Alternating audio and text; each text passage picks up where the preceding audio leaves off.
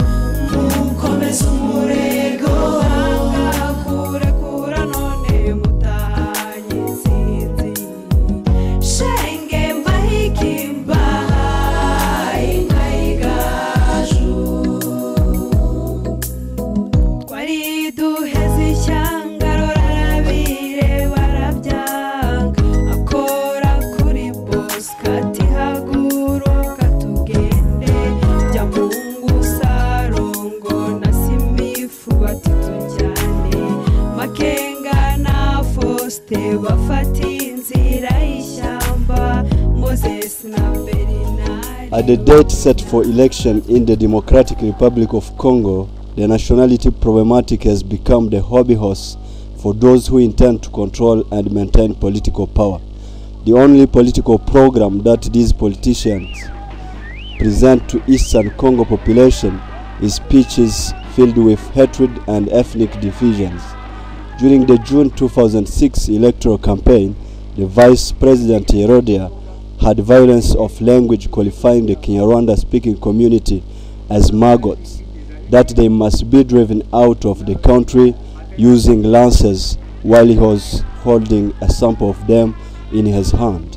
This speech recalls the one in which he qualified the same people as vermin to eradicate with determination. Pona kosala election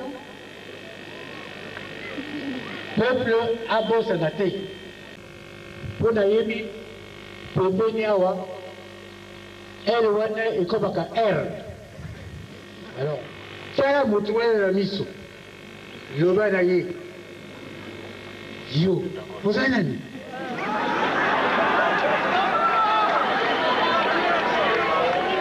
Nde reponse wana akopesa yango te. Bino boyebi tango wana nani bokopona. Soki bato mosusu bamekaki biso.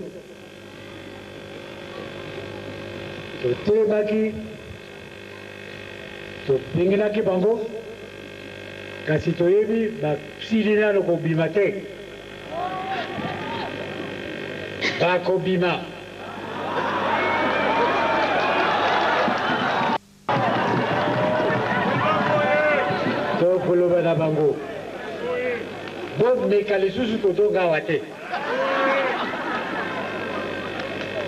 Bino oyo bozali kobombana, bozonga epai bino bowuta!